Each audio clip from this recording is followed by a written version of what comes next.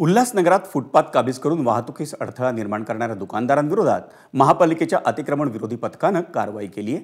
सोबतच रस्त्यांवरील अनधिकृत बॅनरवरही पालिकेकडून कारवाई करण्यात आली. यावेळी पालिकेनं स्टॉल्स आणि बॅनर जप्त केले. उल्हासनगर शहरातील नेहरू चौक नेताजी चौक Kailas colony Chopda court Gol Maidan Venus चौक नेताजी चौक आणि गांधी रोड या परिसरात सोमवारपासून कारवाईला सुरुवात झाली.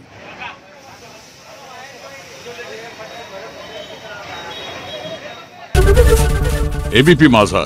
उघडा डोळे बघा नीट.